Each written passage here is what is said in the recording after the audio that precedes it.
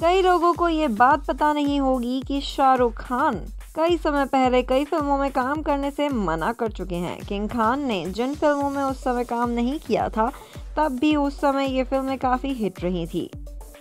इन फ़िल्मों में एक था टाइगर थ्री इडियट्स मुन्ना भाई एमबीबीएस जैसी कई फ़िल्में शामिल हैं।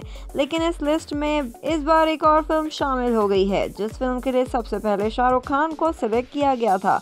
ये फ़िल्म उनके ही प्रोडक्शन हाउस की है, जो फ़िल्म अभी हाल ही में रिलीज़ हुई है। और आजकल करोड़ों की कमाई भी करती नज़र आ रही है। ये फ़िल्म है अक्षय खन्ना की फ़िल्म इत्तेफाक, जिस फ़िल्म में ये एक हट के रोल में नज़र आने वाले हैं, जिस भूमिका को शाहरुख खान ने अपने जीवन में कभी नहीं उतारा।